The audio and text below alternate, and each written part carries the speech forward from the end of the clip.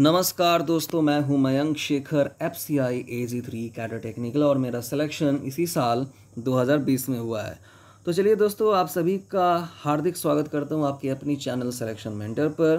तो आप सभी को याद होगा कि मैं यानी मयंक शेखर आप सभी के साथ पर डे तीन वोकेबलरी वर्ड्स का डिस्कशन करता था, हिंदी और इंग्लिश दोनों में।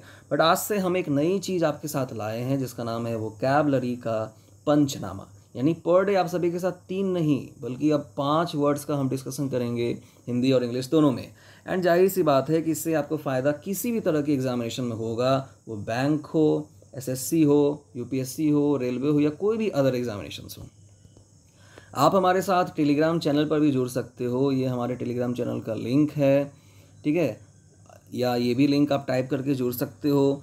वहाँ पर आपको किसी भी एग्जामिनेशन से रिलेटेड हर एक इन्फॉर्मेशन हर एक अपडेट आपको मिलते रहेंगे।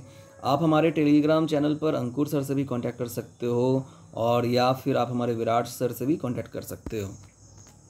तो चलिए हम पहला वर्ड स्टार्ट करते हैं। So the first word is breakthrough breakthrough का हिंदी में अर्थ होता है महत्वपूर्ण खोज। आप इसके सिनोनिम्स को भी लिख सकते हो। And these are first advance second one is important development discovery find etcetera आप इसके एंटोनिम्स को भी लिख सकते हो set back decline decrease loss ये देखिए, मैंने एक महत्वपूर्ण खोज के लिए आपको एक फिगर भी दिखा रहा है कि यहाँ पे किसी ने हाथ मारा और कुछ उसको मिला तो वो एक महत्वपूर्ण खोज हुआ। इसी को कहते हैं ब्रेक थ्रू आप इसका एग्ज़ाम्पल भी लिख सकते हो, जैसा कि हमने कहा Israel's defence minister has claimed that his country has made a terrific breakthrough towards the treatment for the deadly corona virus इसका हिंदी में अर्थ हुआ कि इसराइल के रक्षा मंत्री ने दावा किया है कि उनके देश ने घातक कोरोना वायरस के इलाज के लिए ज़बरदस्त महत्वपूर्ण खोज की है। आई होप आपको ये वर्ड समझ में आ गया होगा। तो बढ़ते हैं दूसरे वर्ड की तरफ़। ये हमारा दूसरा वर्ड जिसको जिसका नाम है sanguine S N G U I N E sanguine इसका हिंदी में अर्थ होता है आशावादी ओके इसका हिंदी में अर्थ होता है आशावादी। आशावादी, ठीक है? आशावादी। आप इसके सिनोनिम्स भी लिख सकते हो and these are first confident assured cheerful optimistic positive आप इसके एंटोनिम्स भी लिख सकते हो gloomy pessimistic doubtful and uncertain आइए दोस्तों, हम इसका एक एग्ज़ाम्पल देखते हैं। जैसा कि हमने कहा billionaire investor Warren Buffett made the sanguine prediction about the economy and said that it will bounce back. इसका हिंदी में अर्थ हुआ कि अरबपति निवेशक वारन बफेट ने अमेरिकी अर्थव्यवस्था के बारे में आशावादी भविष्यवाणी की और कहा कि यह वापस उछाल पर होगी। आई होप दोस्तों ये वर्ड आपको समझ में आया होगा। तीसरे वर्ड की तरफ़ हम बढ़ते हैं जो कि है हमारा पेटेंट ओके okay? जो कि हमारा क्या है? Patent P A T E N T patent इसका हिंदी में अर्थ होता है एक कस्व। ओके, एक कस्व। ए कस्व। ओके, एक कस्व। आप इसके सिनोनिम्स भी लिख सकते हो।